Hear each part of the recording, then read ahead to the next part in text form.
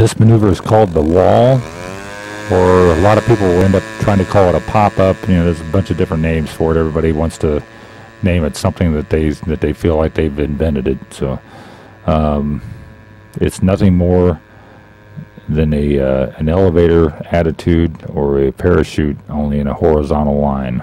Okay. Now i am in low rates right now, so what we'll do is we'll go to switch to high rates. We carry a fair amount of speed and fair amount of power, and right where you get to the point where you want to do it, you just go full up elevator, and the airplane will end up uh, going to a vertical and stopping. It's basically it's like uh, like appearing like it runs into a wall. Okay, so do another one. Come back here. You pitch it up, and the airplane stands up on its tail. Okay, and that's pretty much it. The things you want to look out for is it, when you're pulling such high G's in these maneuvers, the airplane has a tendency, if you're not real careful, it'll want to tip stall on you, just like the regular airplanes will.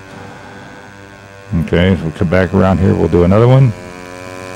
Get the speed in and pull the nose up and it stops. Okay. Now what happens whenever you get the thing set up where uh, the wings aren't quite level or it's not on line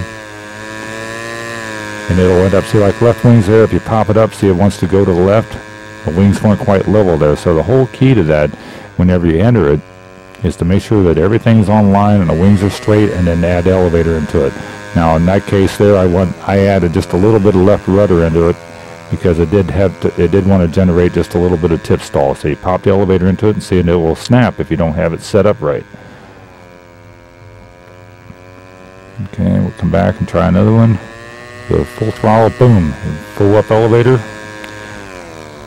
Once it gets to vertical, you really want to relax the elevator out of it. So you come out, you get it set up, you get a full throttle, boom, full, and pull, relax the elevator, and, and that's another way of entering the torque roll. You can actually pull it up and, and enter it into that.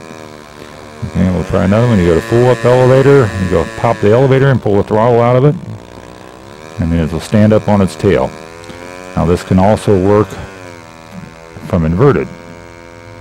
Now obviously you want to go down elevator instead of up elevator, so you go to full throttle and push the nose up and it'll pop up and you pull the throttle out.